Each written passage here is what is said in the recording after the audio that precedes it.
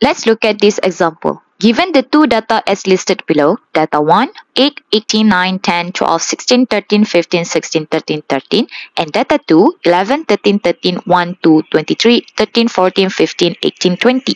Find the mean and standard deviations for the above data and interpret the values obtained. Jadi kita ada dua data kat sini dan kita nak cari mean dan juga standard deviation for each data. Okay. So kita start dulu dengan data yang pertama. So nak cari uh, mean. Okay. Kita tengok eh data pertama ataupun kita dinotkan dia sebagai D1 lah. Okay.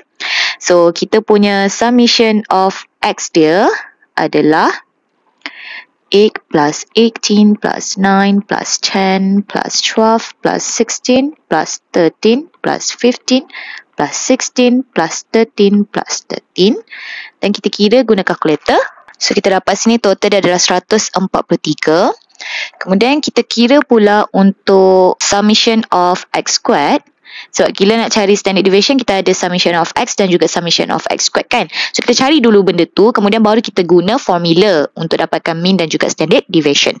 So, saya buat untuk data yang pertama ni, summation of x dia adalah 143. Untuk data yang pertama juga, summation of x squared dia adalah x squared plus 18 squared plus 9 squared plus 10 squared plus 12 squared plus 16 squared plus 13 squared plus 15 squared plus 16 squared plus 13 squared plus 13 squared. So kita kira guna kalkulator.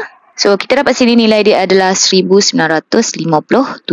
Okay, itu untuk data yang pertama. Kemudian kita kira pula untuk data yang kedua. So data 2 D2.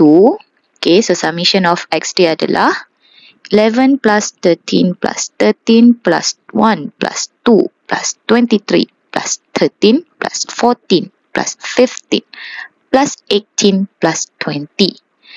Kemudian kita guna calculator. So kita dapat sini nilai dia pun 143.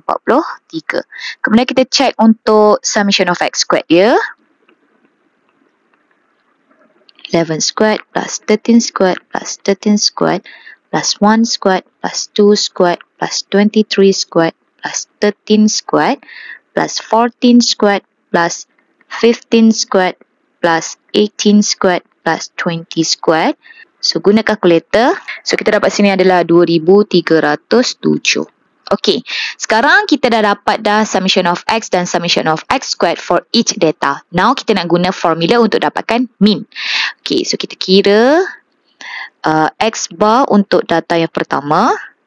Okay, S bar adalah mean, okay. Dia adalah summation of X over total data. So, kita tengok summation of X dia adalah 143 over dengan total data kita ada dekat sini adalah 11 data. So, kita bagi dengan 11. So, kat sini nilai dia adalah 13. Kemudian kita cari X bar untuk data yang kedua. Sama je formula dia adalah summation of x over n. So kita ada summation of x adalah 143. So total data pun adalah 11. So kita dapat sini total dia adalah 13. Okay so kalau kita tengok kat sini dua-dua data both mean dia sama. Okay. So now kita nak cari standard deviation for each data. Kita guna simbol sigma. So untuk data yang pertama ni. Dia adalah square root. Okay. Uh, summation of x squared minus summation of x all squared over n over n minus 1. Okay.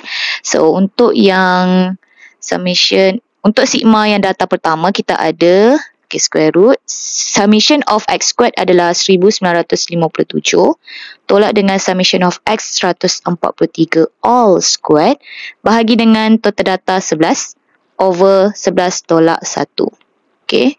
So sini just tekan je calculator. So kita akan dapat sini nilai dia adalah 3.13. Kemudian kita kira pula untuk sigma data yang kedua, formula yang sama. So kita just guna saja.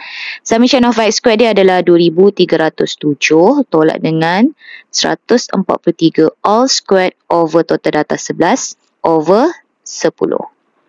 So sini akan jadi 6.69. Okay.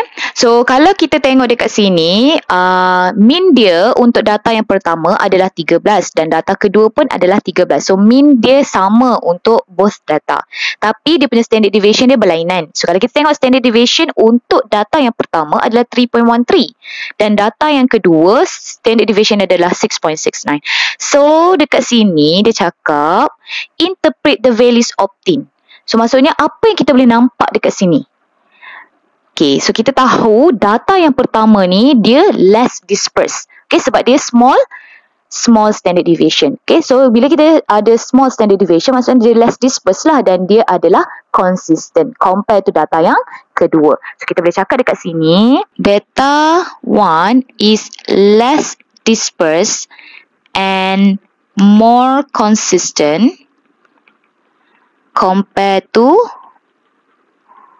data